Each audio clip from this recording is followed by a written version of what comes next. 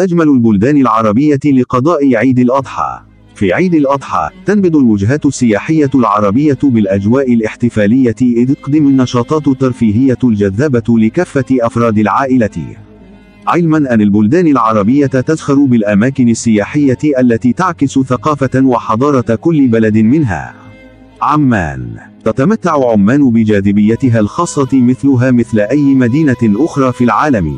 قد تكون منطقة صغيرة ولكنها مزيج مثير للاهتمام من الآثار القديمة والمجتمع الحديث بالتأكيد يجذبك. بني المسرح الروماني خلال فترة حكم أنطونيوس بيوس في القرن الثاني وهو كبير جدا بحيث يمكن أن يستوعب حوالي ستة آلاف شخص. إنه مبني بشكل استراتيجي على سفح التل لإبعاد أشعة الشمس عن المشاهدين. المسرح ليس مجرد واحد من أفضل الأماكن التي يمكن زيارتها في مدينة عمان، بل هو أيضا أكثر الأماكن إثارة للإعجاب في رومان فيلادلفيا. مركز برية الأردن مركز برية الأردن ليس من الأماكن القديمة في عمان. إنه مقهى مملوك من قبل الجمعية الملكية لإنقاذ الطبيعة. يتمتع المقهى الهادئ والحديث بموقع جميل يطل على أفق عمان. يمكنك قضاء أمسية هادئة هنا. إنها بالتأكيد واحدة من أفضل الأماكن للذهاب في عمان مع الأصدقاء. مسجد الملك عبد الله الأول في عمان من أجمل الأماكن التي يمكن زيارتها. تم بناء المسجد بين عامي 1982 و 1986 وهو مثال رائع للتصميم الإسلامي الحديث. لها قبة زرقاء رائعة بشكل لا يصدق حيث يمكن أن يصل ثلاثة آلاف مصري. يوجد متحف داخل المسجد يحتفظ بمجموعة فخار وصور لجلالة الملك عبد الله الأول.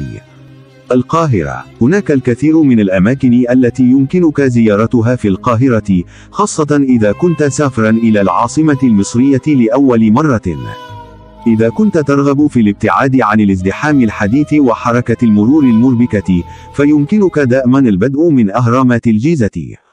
يقع جامع الأزهر في وسط حي القاهرة الإسلامية وهو أحد أقدم المساجد الباقية في العصر الفاطمي.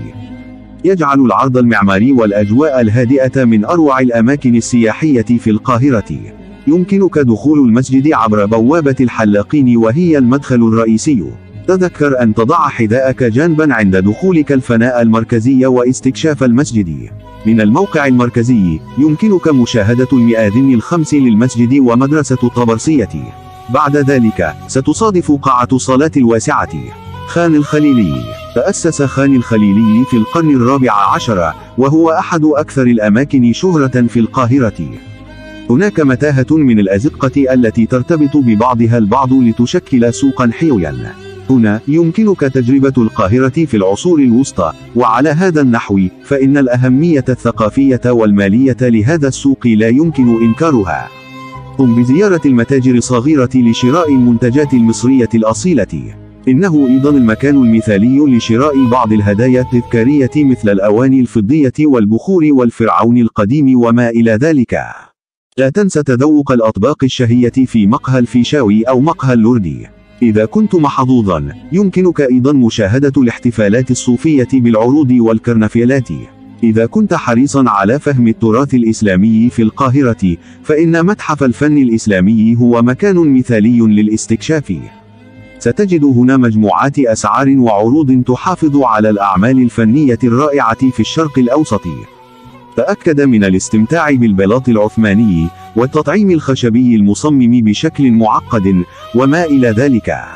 لا تنس مشاهدة المصاحف المميزة وعرض المجوهرات المزخرفة الثقيلة. علاوة على ذلك، يجب عليك أيضا زيارة غرف العلوم وعلم الفلك وإلقاء نظرة على قطع المعدات المختلفة والمجموعات الأخرى.